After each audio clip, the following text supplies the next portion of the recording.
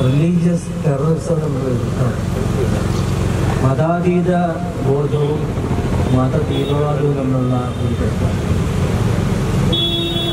അല്ലാതെ ഒരു വ്യക്തിപരമായ കാര്യമായിട്ട് കൂട്ടരുത് കാര്യം ഇങ്ങനെയൊരു വാർത്ത ഉണ്ടായപ്പോൾ ലോകത്തിന്റെ പല ഭാഗങ്ങളിലും ഉണ്ടായ ചലനം എവിടെയെല്ലാമാണോ മലയാളികൾ താമസിക്കുന്നത് അവരെല്ലാവരും ഒത്തുകൂടുകയും ഇത് ചെയ്ത് ശരിയായില്ല എന്ന് ഒന്നിച്ച് ഒറ്റ സ്വരത്തിൽ ഒരു ശരീരമായി പറയുകയും ചെയ്യുന്നതാണ് നമ്മൾ രണ്ടു ദിവസം കണ്ടുകൊണ്ടിരിക്കുന്നത്.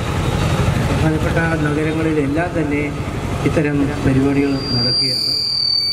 അതിന് കൂടുതൽ കൂടുതൽ വികാര വൈകാരികത ഉണ്ടാക്കി തരുന്നുണ്ട്. ഇന്ന് ന്യൂസ് എയ്റ്റീൻ എന്റെ പ്രസംഗത്തിന്റെ ഒരു ഓഡിയോ റെക്കോർഡ് ചെയ്തത് ഇന്ന് തപ്പിയെടുത്തിട്ടുണ്ട്.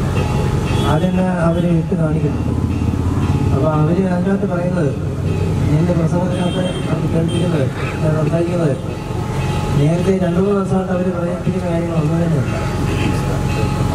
നിങ്ങൾ ബൈബിൾ വായിക്കണം കുട്ടികൾക്ക് ബൈബിൾ വായിക്കാൻ കൊടുക്കണം. നിങ്ങൾ ഖുറാൻ വായിക്കാൻ കൊടുക്കണം. നിങ്ങൾ ഭഗവത്ഗീത വായിക്കാൻ കൊടുക്കണം. പാൽമാർസിന്റെ മൂലധനം വായിക്കാൻ കൊടുക്കണം. കമ്മ്യൂണിസ്റ്റ് മനുവിസ്റ്റ് വായിക്കാൻ കൊടുക്കണം. ഇങ്ങനെ എല്ലാ പുസ്തകങ്ങളും വായിച്ചെങ്കിൽ മാത്രമേ ഒരു നല്ല മനുഷ്യനായിട്ട് ആ കുട്ടി മാറുകയുള്ളൂ എന്ന് ഞാൻ പറഞ്ഞതാണ് എന്റെ ശബ്ദത്തിൽ എറണാകുളത്ത് അപ്പന്റെ അമ്പലം അകത്തി അവിടെ ഒഴുക്കൽ ദിവസം ഉണ്ടാകണമെന്ന് ഞാൻ പറഞ്ഞത്. ഞാനങ്ങനെ പറയുന്നില്ല പറയാത്തത് എന്തുകൊണ്ടാണ് ഞാൻ പറയാം? രണ്ടാമത് ബ്രഹ്മാവിന്റെ തല ഫെവിക്കോൾ വെച്ച് ഒട്ടിച്ചിരിക്കുകയാണെന്ന് ഞാൻ പറഞ്ഞത് ഞാനങ്ങനെ പറഞ്ഞിട്ടില്ല. ഒന്നും പറയാതിരുന്നത്.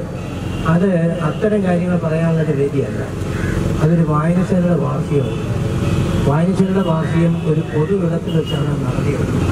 ആ പൊതു ഇടത്തിൽ വെച്ച് നടത്തിയപ്പോൾ ഞാൻ അവിടുത്തെ ഗ്രാമവാസികളോട് പറഞ്ഞത് ഇന്ന് കേരളത്തിൽ പൊതു ഇടങ്ങൾ ഇല്ലാതായിക്കൊണ്ടിരിക്കുകയാണ്. പൊതു ഇടങ്ങൾ ഇല്ലാതായിപ്പോയി എന്ന് പറഞ്ഞാൽ അതെവിടെയും പോയതല്ല അത് കയ്യേറുകയാണ് എങ്ങനെ കയ്യേറുന്നു?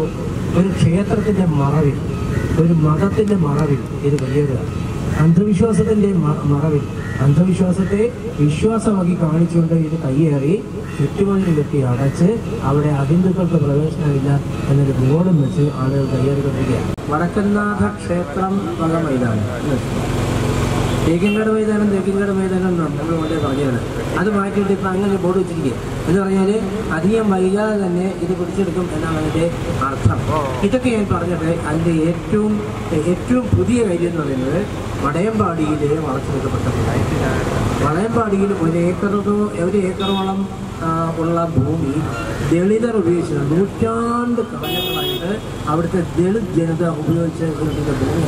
അവർക്ക് കപ്പ മുറിച്ച് ഉണക്കാനും അവരുടെ കുഞ്ഞുങ്ങൾക്ക് കളിക്കാനും കന്നുകാലികൾക്ക് മേയാനും ഒക്കെയായിട്ട് ഉപയോഗിച്ചിരുന്ന ഒരു മൈതാനമാണ് ഒരു പൊതു സ്ഥലമാണ് അത് വടയമ്പാടിയിലുള്ളത് അതിന്റെ അറ്റത്ത് ഒരു പഴയ ക്ഷേത്രം ഉണ്ടായിരുന്നു. ആ ക്ഷേത്രത്തിൽ നിത്യപൂജയൊന്നും ഇല്ലായിരുന്നു. അത് എൻ എസ് എസിന്റെ വകയായിരുന്നു. അവർ ആ ക്ഷേത്രം പുതുക്കി മാറ്റുകയും അവിടെ ഒരു വലിയ മതിൽ ഒരു ഒരു പട്ടയം അവർ സംഘടിപ്പിക്കും നൂറ്റാണ്ട് കാലമായിട്ട് ദളിതർ ഉപയോഗിച്ച് വെച്ചിരുന്ന ഉപയോഗിച്ചുകൊണ്ടിരുന്ന ഒരു സ്ഥലത്തിന് ഒരു പട്ടയം അവർ സംഘടിപ്പിക്കുകയാണ്. ഈ പട്ടയത്തിന്റെ ബലത്തിൽ ചുറ്റുമതിൽ കെട്ടി മൈതാനം അടയ്ക്കുകയാണ്. ആ ചുറ്റുമതിൽ എന്ന് പറയുന്നത് അറിയാം? അദ്ദേഹത്തിന് ഒന്നിലധികം തവണ അവിടെ അവാർഡ് കിട്ടിയിട്ടുണ്ട്. ലളിതകല അക്കാദമിക്ക് അവാർഡ് കിട്ടിയിട്ടുണ്ട്. അതുകൊണ്ട് ലളിതകല അക്കാദമി തീരുമാനിച്ചു ദർബാർ ഹാളിന്റെ എറണാകുളം ദർബാർ ഹാളിന്റെ മുമ്പിൽ അദ്ദേഹത്തിന്റെ മൃതശരീരം പൊതുദർശനത്തിന് വയ്ക്കണം എന്ന് തീരുമാനിച്ചു.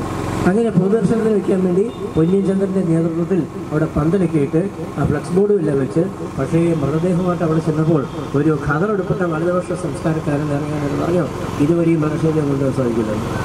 ഇത് എറണാകുളത്തപ്പന്റെ സ്ഥലമാണ്. ഇതുവരെ ഈ മൃതശരീരം കൊണ്ടുവന്നിട്ട് അവരെ കൂടുതൽ ജയിച്ചു. കാര്യം അവിടെ മൃതശരീരം ഈ അശാന്തന്റെ മൃതശരീരം അവിടെ പൊതുദർശനത്തിൽ വയ്ക്കാൻ സാധിച്ചു അശാന്തന് ദളിതനായ കലാകാരനാണ്. ദളിതനായ ഈ കലാകാരൻ കുറേ കാലം മുമ്പ് ഏതൊരു ബോധോദയ ബോധോദയത്തിൽപ്പെട്ട് ഉപനയനം ചെയ്യുകയും അദ്ദേഹം പൂണൂരണിയുകയും ഒക്കെ ചെയ്തിരുന്നു. പക്ഷേ അതൊന്നും കാര്യമാക്കില്ല ദളിതൻ എപ്പോഴും ദളിതൻ തന്നെയാണ്.